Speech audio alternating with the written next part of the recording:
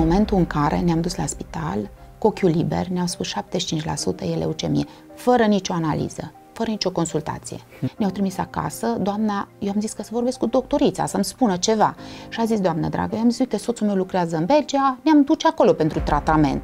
A zis, doamnă dragă, du-te și la capătul pământului. Cheltuie toți banii pe care ai de pe, din lume, dar îți spun, copilul nu va trăi.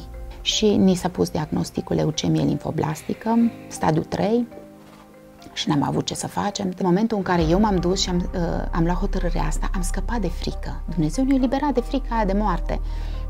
De faptul că noi am putea să deținem controlul asupra vieții. Orice, că am început să facem tratament, am adică noi am încercat din punct de vedere omenește să facem toate lucrurile bine, dar Dumnezeu era în control. Hmm. Viața fiicei noastre a avut loc un miracol. Da, da, putem deci să spunem, au da. rămas în viață și Da. nu folosim uh, termenii ușor, dar când uh, din 50 de copii numai 10 ajung să trăiască Da. și toți cu boli terminale, Noi când suntem atunci în suferință, ce Doamne, dar de ce? Dar pentru ce? Dar cât timp? Um, Eu cred că toată viața noastră așa de credință, um, Dumnezeu ne trece prin multe situații, dar asta își dorește. O mai mare apropiere de Dumnezeu, o mai mare încredere în El. Adică pe zi ce trece, noi ne dorim să ajungem în cer, la Dumnezeu. Dar cum să ajungem acolo când noi nici de aici nu începem să avem încredere în Dumnezeu?